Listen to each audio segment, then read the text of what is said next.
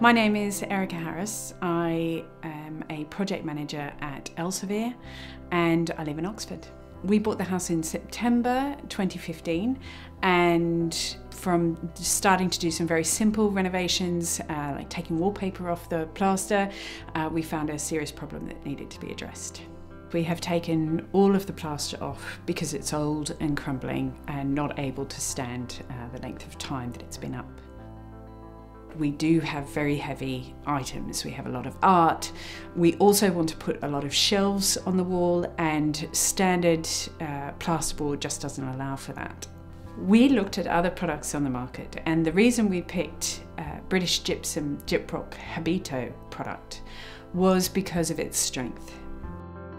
In the future, with a young family, we are expecting the walls to take some pretty heavy damage. And so we wanted to put something in that would last and look great for a very long time and be able to take that damage without too much stress from us.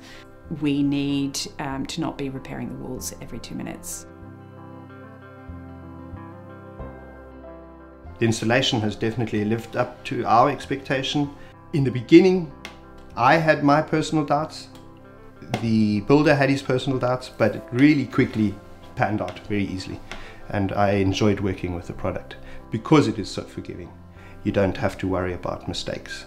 Experience with normal plaster in previous houses um, drove one a little insane with uh, things falling off, with mistakes, not being so forgiving and everything. Over here, it really was uh, noticeable how you could work much more freely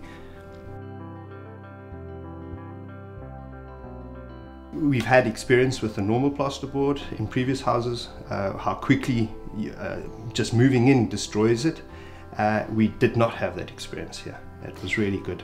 We've knocked the walls.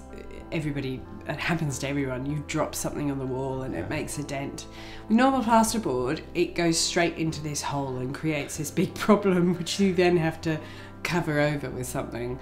Um, but here, you just kind of paint it. If we hadn't installed Gyproc Habito, there's a lot of things we would not have put up on the walls. There's a heavy carpet, shelving, wall well, unit. We, we would have had we would have put it up, but we would have had to secure it into the brick.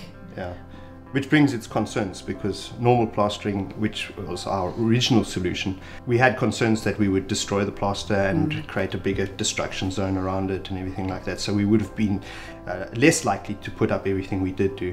Uh, with a stronger Habito, we felt that we could easily go direct fixings in there, and so we went to town with it. Experience in working with the single board itself, cutting it to size, that's just uh, a matter of getting used to it. Uh, once you get the trick out, it's really easy. Um, you can work on the same level as if it was a brick wall, normally plastered, because of its strength. Even uh, in the living room, the uh, entire wall unit is against the Habito board, so uh, it's just a perfect solution. We don't have to worry about uh, a growing family making destruction of plasterboards or something like that. Uh, it's just a matter of painting over, as we experienced ourselves now for moving, so we're very happy with the product.